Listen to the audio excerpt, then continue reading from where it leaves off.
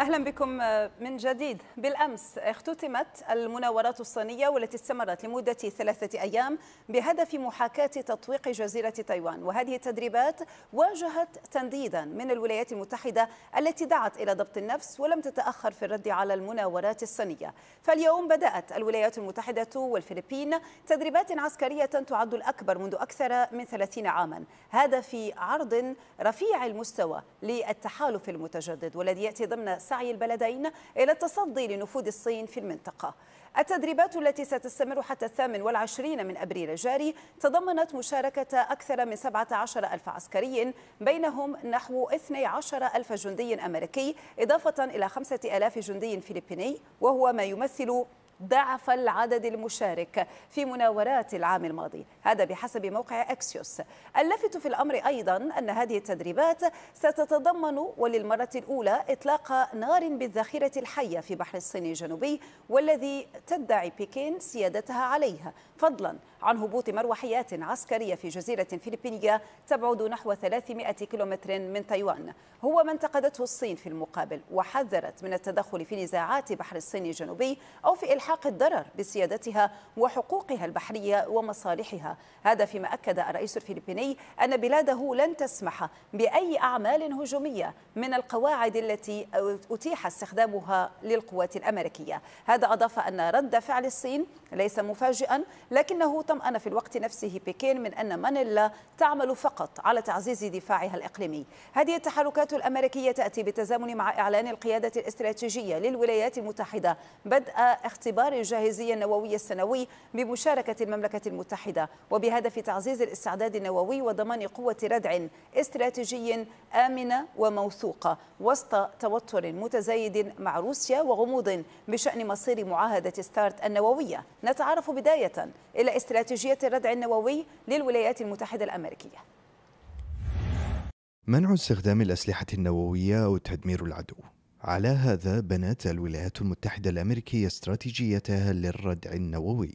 لكن هذه الاستراتيجية تتقلب باستمرار حسب كل إدارة والمناخ الجيوسياسي فيما ظلت السياسة المركزية دون تغيير نسبيا.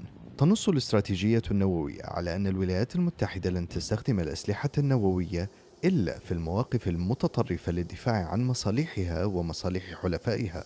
وعلى مر السنين تغيرت الرغبة من إحداث أكبر قدر ممكن من الضرر إلى إحداث الضرر للحكومات أو القوات العسكرية للخصم. من أجل تقليل مخاطر حدوث هجوم نووي أنشئ الثالوث ويتكون من صواريخ بحرية وجوية وأرضية هدفها اكتشاف الهجمات وتوفير التخطيط النووي التكيفي. تتبع واشنطن أيضا سياسة الإطلاق عند التحذير إذ تسمح للقادة بإطلاق سلاح نووي في حالة الهجوم وهو إجراء مثير للجدل مع إمكانية وجود خطأ في التحذيرات. جانب من الردع النووي الأمريكي هو تقليل عدد الدول النووية وبذلك توفر ردعا موسعا عبر مظلة للحلفاء في أوروبا وآسيا والمحيط الهادئ.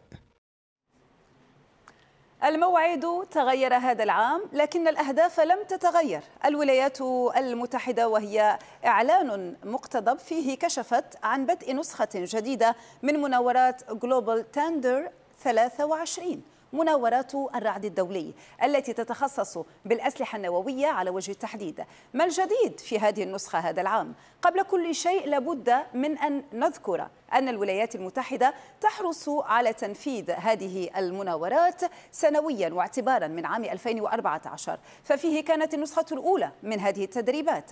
هذا العام خلافا لما سبق من أعوام قرر الأمريكيون تنفيذ مناوراتهم النووية في الحادي عشر من أبريل لمدة عشرة أيام. هم الذين كانوا يجرونها عادة نهاية شهر أكتوبر وحتى بدايات نوفمبر. أما الغرض منها فهو كالمعتاد تقييم جاهزية القوات النووية وقوات الردع الاستراتيجي وكذلك الجاهزية العملياتية المشتركة بحسب ما أكدت القيادة الاستراتيجية للولايات المتحدة في بيان مختصر. شددت فيه على أن المناورات هي اعتيادية تنفذ كل عام ليست ردا على تصرفات دولة بعينها. بالعموم فإن القيادة الأمريكية تحرص على بقاء معلومات هذه المناورات بعيدة عن التداول لكن التقارير تفيد أنها تنفذ داخل الأراضي الأمريكية. بعضها أيضا ينفذ ضمن أراضي الحلفاء. وعلى ذكر الحلفاء دعوني أشير هنا إلى أن بيان القيادة الاستراتيجية الأمريكية أكد أن بريطانيا ستشارك في نسخة هذا العام من المناورات. فيما أفادت بيانات أخرى أن كوريا الجنوبية وأستراليا والدنمارك وكندا شاركت في نسخ سابقة منها. أما الأمريكيون فيصفون مناورات جلوبال ثاندر بأنها مناورات واسعة النطاق تشمل العمليات الفضائية وعمليات الفضاء الإلكتروني إضافة إلى الحرب الإلكترونية المشتركة وأيضا الضربات العالمية والدفاع الصاروخي والاستخبارات. إذا الأمريكيون يريدون من هذه المناورات القيام بمحاكاة التصدي لأخطار نووية حقيقية ناهيك عن اختبار القاذفات النووية والتحقق من مرونة الثالوث النووي الذي يشمل الأسلحة البرية والبحرية والجوية وكذلك اختبار وتجهيز الصواريخ العابرة للقارات. تعاون دفاعي منذ عقود. يربط الولايات المتحدة والفلبين. نرصد أوجه هذا التعاون وبشكل مفصل في هذا التقرير. في إطار جهود الولايات المتحدة لإعادة توجيه مواردها باتجاه المنطقة أعلنت واشنطن ومانيلا مؤخرا اتفاقا يمكن الجيش الأمريكي من استخدام أربع قواعد عسكرية جديدة في هذه الدولة التي يفصلها مضيق بحري عن تايوان. وفي إطار الاتفاق خصصت الولايات المتحدة 82 مليون دولار لتحسين البنية التحتية في خمسة مواقع حالية متضمنة في اتفاقية التعاون الدفاعي المعزز وتوسيع جهودها العسكرية إلى أربعة مواقع جديدة. ويربط البلدان تحالف أمني منذ عقود يسمح للقوات الأمريكية بالوجود في خمس قواعد فلبينية بما فيها تلك القريبة من مياه متنازع عليها. كما يسمح للجيش الأمريكي بتخزين المعدات والإمدادات الدفاعية في تلك القواعد. وفي الآونة الأخيرة كثفت القوات الأمريكية ووسعت نطاق التدريب المشترك الذي يركز على الاستعداد القتالي والاستجابة للكوارث مع القوات الفلبينية على الساحل الغربي للبلاد الذي يواجه بحر الصين الجنوبي.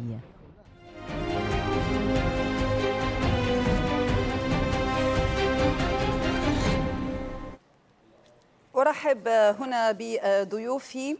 عبر تطبيق زوم إذا من واشنطن أرحب بسيد جوزيف بوسكو مسؤول ملف الصين في مكتب وزير الدفاع الأمريكي سابقا. من بكين أرحب بالأستاذ نادر رونج الكاتب الصحفي في مجموعة الصين للإعلام. أهلا بكم معنا وأبدأ النقاش معك أستاذ جوزيف.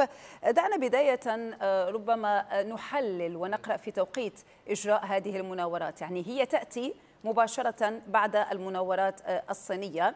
وأيضا بعد زيارة رئيسة تايوان إلى الولايات المتحدة الأمريكية، ما دلالات ذلك؟ يعني حتى ربما لكونها أكبر مناورات من نوعها منذ 30 عاما، أيضا من حيث الأعداد المشاركة. يعني هي تمثل ضعف الأعداد التي شاركت العام الماضي. صحيح. على الأرجح هذه المناورات والتدريبات مخطط لها منذ وقت بالمناسبة وليست وليدة اللحظة. إذا بعد بناء القواعد يبدأ التخطيط للتدريبات والمناورات. لا أعرف متى تم التخطيط لها بالضبط ولكن صدقوني لم يتم التخطيط لها لا خلال 24 ساعة ماضية ولا أسبوع ماضي. إذا ولكن طبعا هي مرتبطة بالتطورات في تلك المنطقة. نعرف أن التوتر يتصاعد في المنطقة خاصة بعد التحركات الصينية والتصريحات بشأن سياساتها التي أثارت المخاوف. لن أخفيكم هذا الأمر. مما جعل الغرب وخاصة الولايات المتحدة حريصة على دعم الدول في المنطقة في حال وأقول فقط في حال كان هناك أي عدوان من الصين. الصين تهديد ويبدو أن الصين تخطط لشيء ما. لا نعرف خاصة ضد تايوان مثلا. نعم. قبل أن نعلق على هذه النقطة الأخيرة التي انتهى عندها إذا سيد جوزيف على أن الصين تخطط لشيء ما ويخص تايوان. سيد جوزيف دعنا بداية أستاذ نادر نتحدث عن هذا العرض. يعني وصف بأنه رفيع المستوى لتحالف أمريكي فلبيني المشاركة هي بضعف العدد المشارك في العام الماضي وهو بعد يوم واحد فقط من اختتام الصين للتدريبات الخاصة حول تايوان. ما دلالات ذلك أو كيف تنظر الصين إلى هذه المناورات وإلى حجمها تحديداً؟ أهلا ومرحبا بكم هذه المناورات يعني كما أكدت متحدث باسم وزارة الخارجية الصينية بأن لا يجب على الولايات المتحدة أو هذه المناورات أن تدور بمصالح الصين فالصين طبعا لا تعارض التعاون بين مختلف الدول في المنطقة ولكن يجب أن أن لا تدور هذا يدور هذا التعاون بمصالح الصين في هذه المنطقة. وإذا كان هناك أي تجاوز في هذا الخط فالصين أيضا ستتخذ إجراءات المضادة لها. يعني وموقف الصين كذلك تدعو إلى يعني عدم التسليح أو عدم دخول في السباق التسلحي في هذه المنطقة. وترى أن هذه المنطقة يجب أن يكون منصة للتنمية والتطور وليس منصة لمنافسة جيوسياسية. نعم. لكن سيد جوزيف قبل قليل تحدث على أن الصين الصين هي تمثل تهديد فيما يخص تايوان يعني وهذا ليس ليس بالشيء الجديد. يعني هل هي مناورات ربما لديها رسالة فيما يخص ذلك وفيما يخص ربما القوة والقدرة الأمريكية الفلبينية المتحالفة بوجه هذا التهديد الصيني؟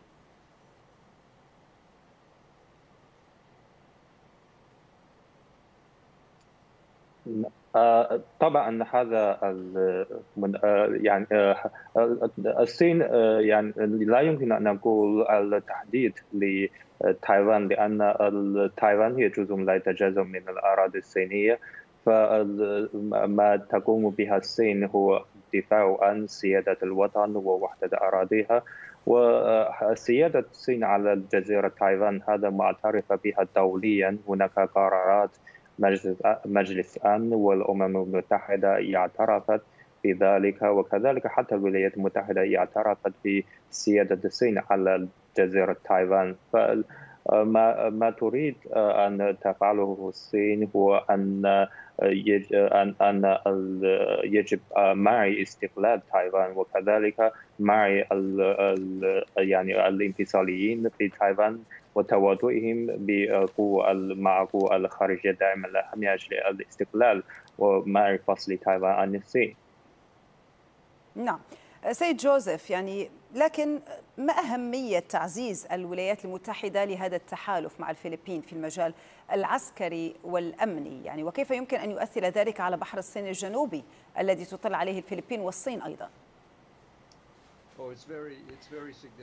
لا هذا التحالف له أهمية كبيرة.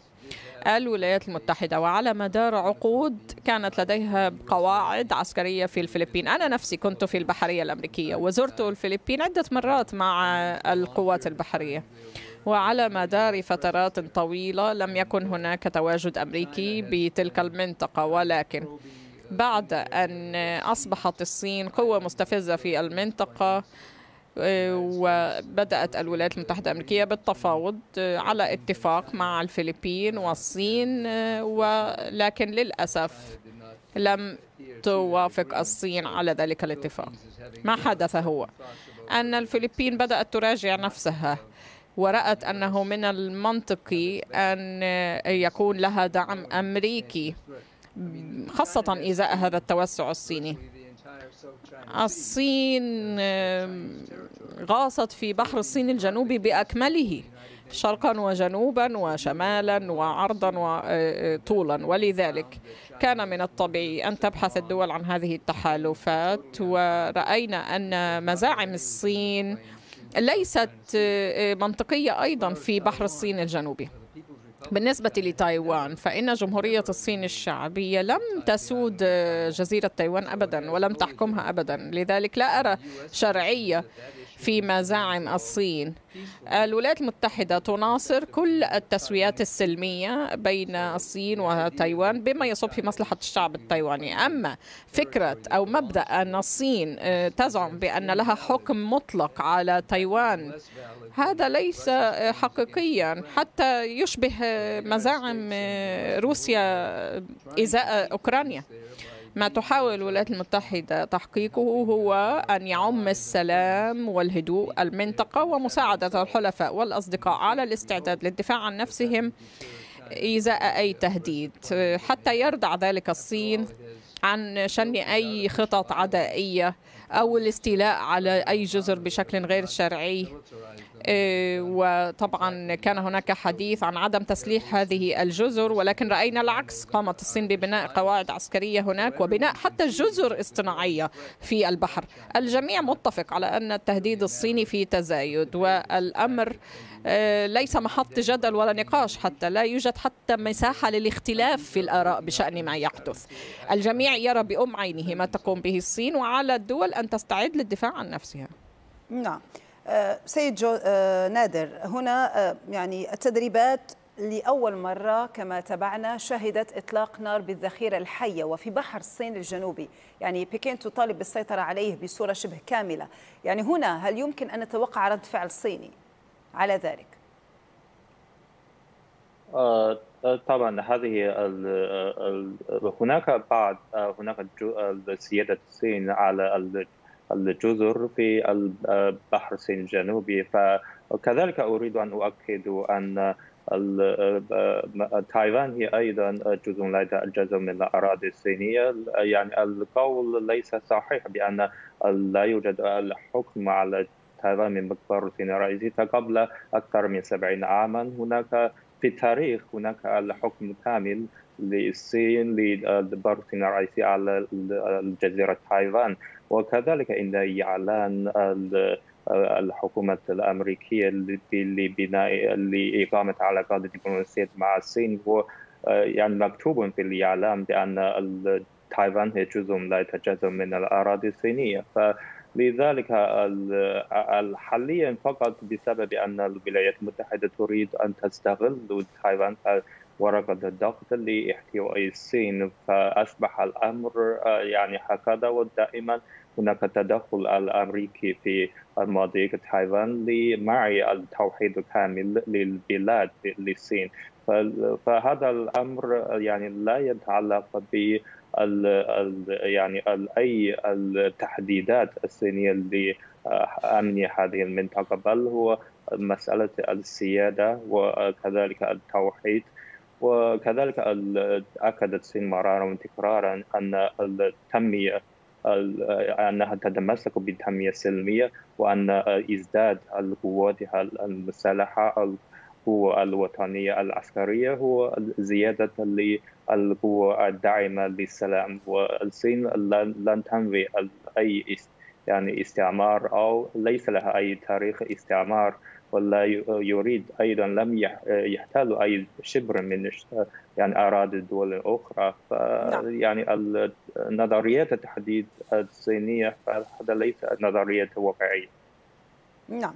سيد جوزيف أيضا أريد تعليقك على موضوع تدريبات الاستعداد النووي التي تجريها الولايات المتحدة الأمريكية منذ عام 2014 يعني ما الذي يميزها هذه السنة؟ خاصة وأن الولايات المتحدة وروسيا آه، أوقفتا العمل أو الالتزام بمعاهدة نيو ستارت نووية. هل آه، ذلك له علاقة أم هي مجرد إجراءات روتينية؟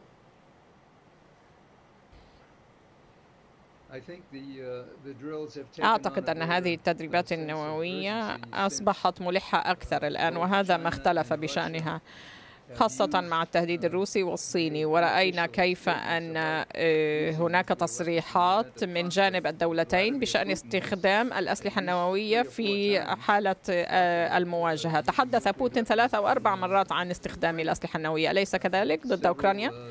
وبالتالي فرأينا أيضا مسؤولين صينيين يصرحون بتصريحات مشابهة خلال السنوات الماضية.